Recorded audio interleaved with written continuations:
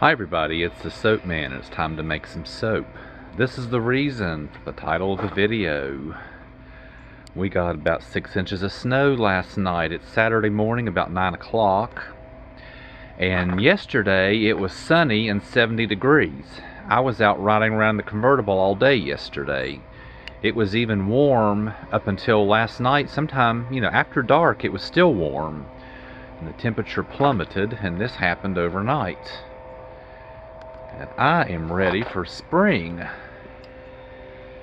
But it's just hard to believe that yesterday it was sunny and 70 degrees. I was out in the convertible.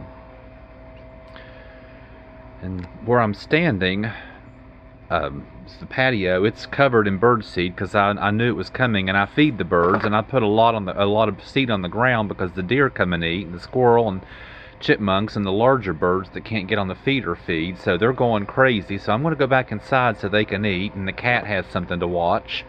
So I'm going to head on into the studio, start making some soap. But this is the reason for the name of the video. See you in a minute in the studio. Hi everybody, we're back. So after that snow you saw outside, you can probably see why I'm ready for spring. Saturday a week ago it was sunny and 80. I mean yesterday it was sunny and 70. Most of this week it's been, you know, at least upper 50s, lower 60s, and then this came in. It's supposed to be really cold tonight. So anyway, I am ready for spring. That being said, that's why I decided to make this soap and call it this. So I'm going to have a white base, and I'm going to do an in the pot swirl because I need to pour pretty quickly. So I'm going to use lima peel. I'm going to use iris purple, and I'm going to use a combination of lemon chiffon yellow and yellow vibrance, all by Nurture Soap. I'm going to fragrance this with a wonderful, bright, delightful scent of ginger and lime, which is also by nature, also by Nurture Soap. Let's go ahead and get started. Sometimes this fragrance rices a little bit, sometimes it doesn't. I'm planning on it rising. Hopefully it's just a little bit. It usually is and it stick blends out. But I'm doing it in the pot swirl just in case. Plus, I kind of need to get going because I got a lot of stuff going on this evening. So, let's make some soap.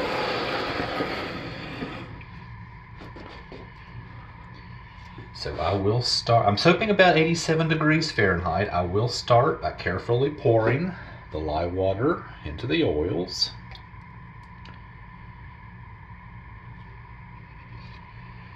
I'm going to rinse my lye container like always and turn it upside down in the sink to drain.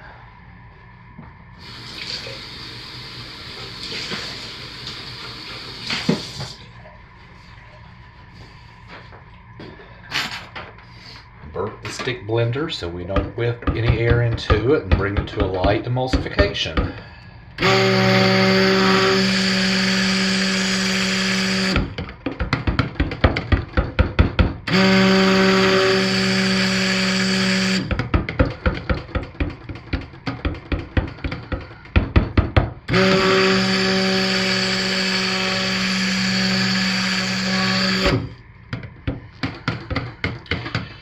that's way more than I normally stick blend. It's separating in the pot already. So strange. Afraid, because I'm a little tiny bit warmer, and I'm afraid that I'll get into trouble if I stick blending more. So let's just get this into our three accent colors.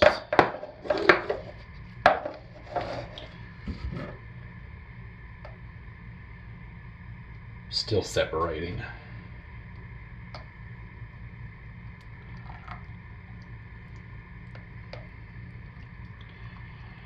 So I give up.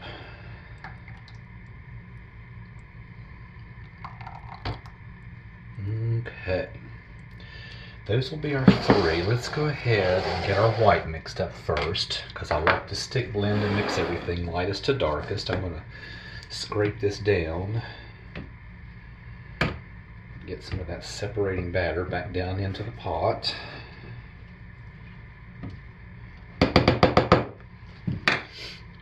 TD is pre-mixed in oil.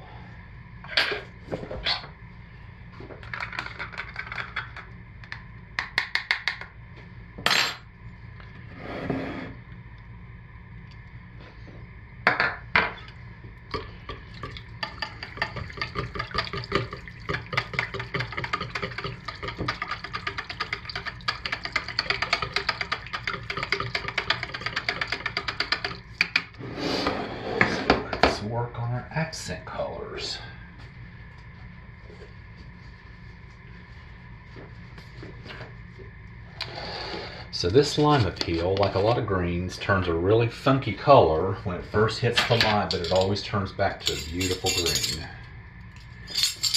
Green Vibrance is another one, but this one does even to a more extreme degree than Green Vibrance. So let's get this stirred in by hand.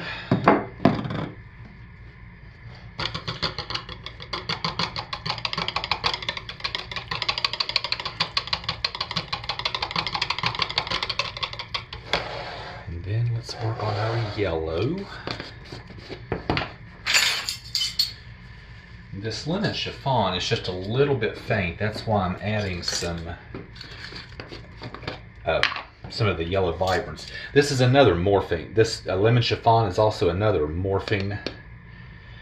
It turns really a vibrant burnt orange, but I'm thinking it might not be as severe since I'm mixing it with the yellow vibrance.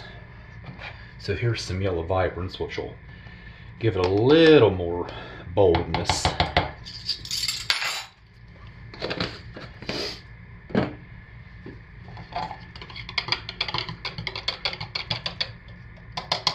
So let's get these stirred in.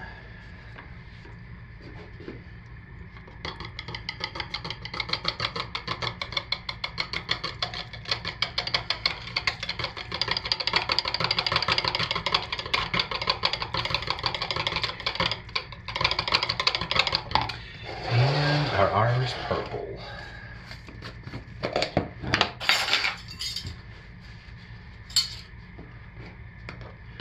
Really pretty purple.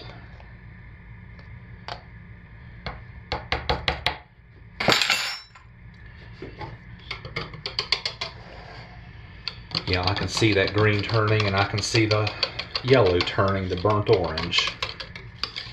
But by tomorrow when we cut it, it'll look like it's supposed to.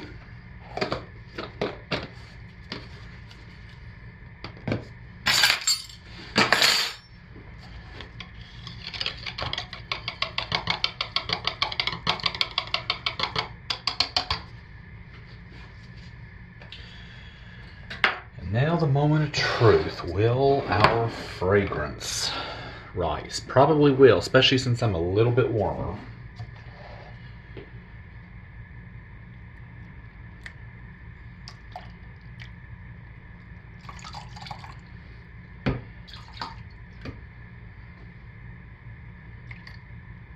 And it is. But it's usually mild and it usually stick blends right out.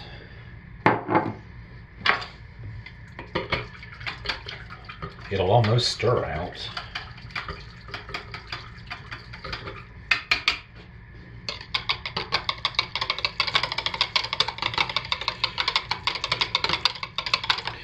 Yeah, it's actually stirring out, but I'm still going to stick blend it just a little bit.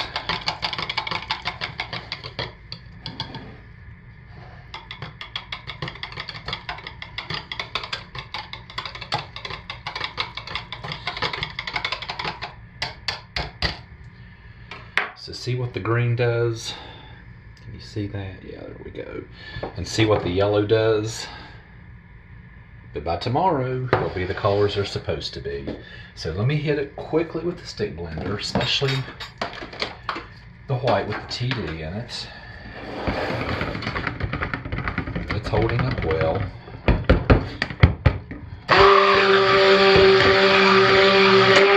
Oh shoot, got some air in.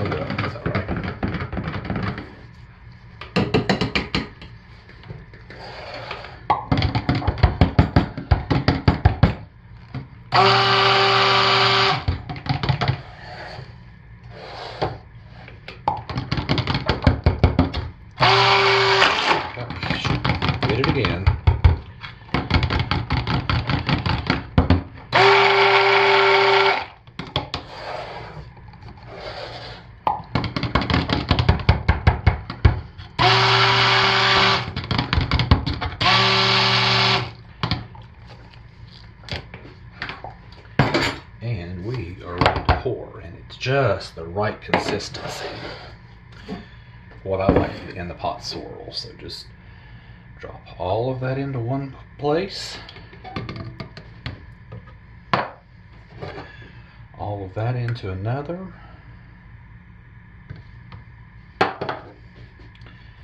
All of that into the third.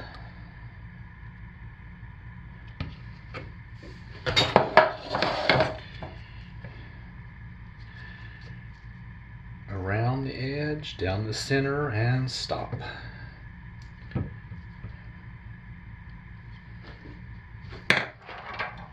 And into the mold it goes.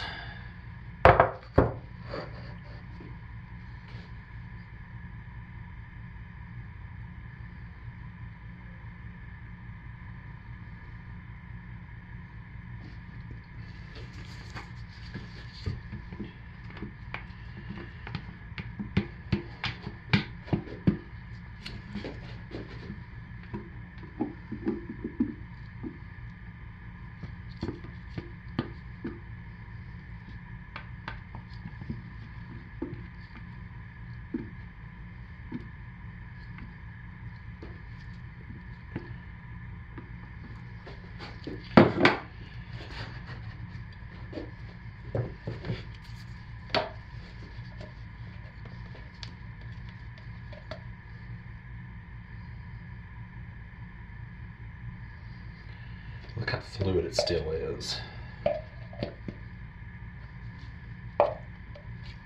So despite some minor ricing, this fragrance is really very, very workable. So here's what's going to be our yellow. It's a really pretty orange right now. And here is what will be a pretty green tomorrow. Not quite so pretty right now.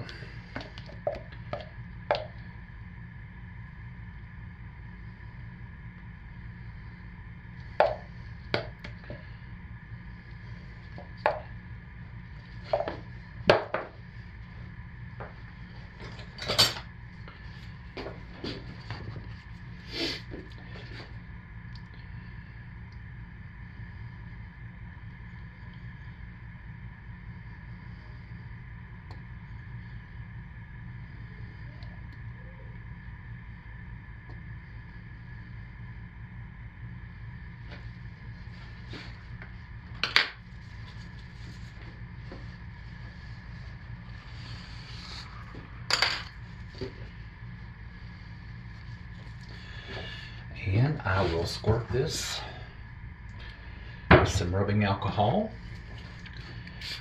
so we don't get soda ash on that pretty top. Let it sit about five minutes, spray it again, put it to bed, and I'll see you tomorrow for the cut. Thanks for watching, everybody. I'll see you tomorrow. Bye. All right, we're back to cut our soap, and our morphing micas have morphed back to what they're supposed to be. Let's just cut right into it.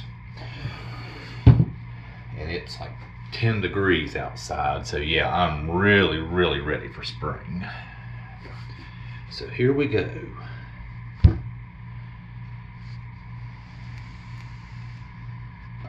Let's see what we have.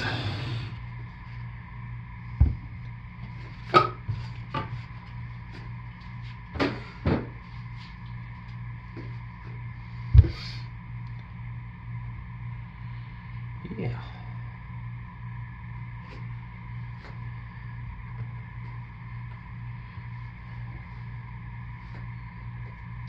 So let's cut these into bars.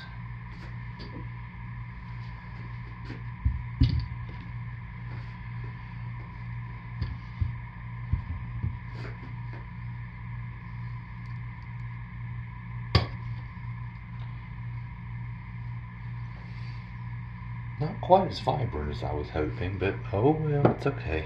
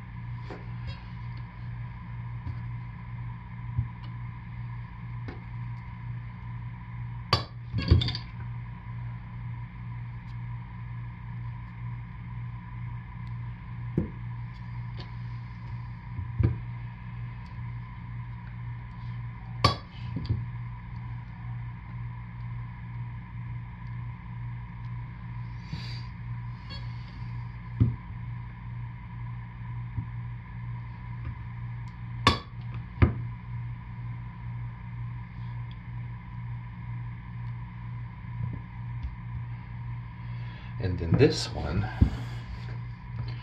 I'm to cut on the face this way instead of this way. I've gone ahead and scored this. And I am not the most accurate at cutting a straight line with a knife, but I'll do the best I can.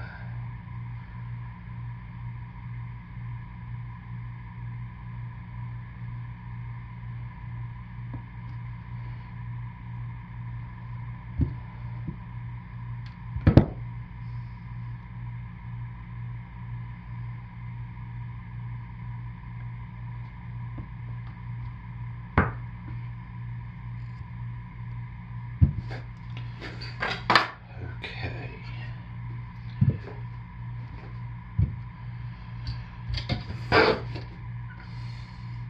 So like this is the way up. Not mess it up now. Let's not mess it up. This is the way I've been cutting it. This is the way I'm going to cut it.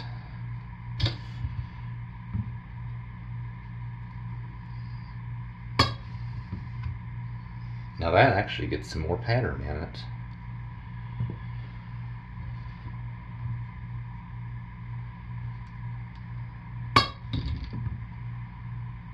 Yeah, I like that cut better.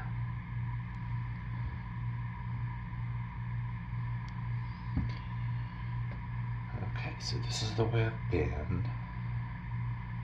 This is the, let's see, been cutting it that way, I want to cut it that way.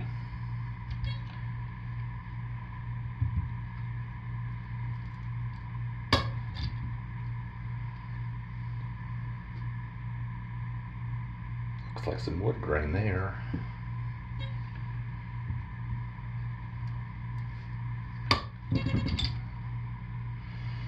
We're getting some wood grain patterns this log.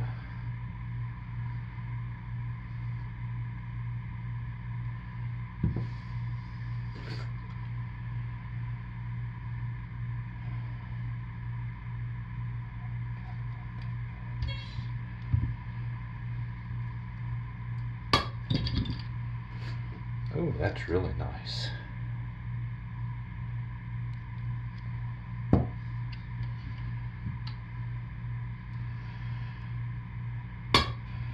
The only drawback to cutting this way is I do get one fewer bar, one less bar. If I cut both logs that way, I'd get two fewer bars because these end pieces are just a little bit thicker. But I like that cut better on this particular soap.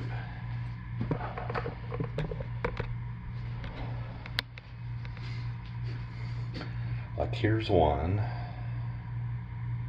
cutting it on the face, here's one with the traditional cut. So yeah, I like cutting it on the face better on that particular one. But anyway, not bad, not bad at all. And of course, I love that fragrance. smells fantastic. So that's what I have this week. So thanks for watching. Stay safe, take good care of yourselves, and I will see you next week. Bye, everybody.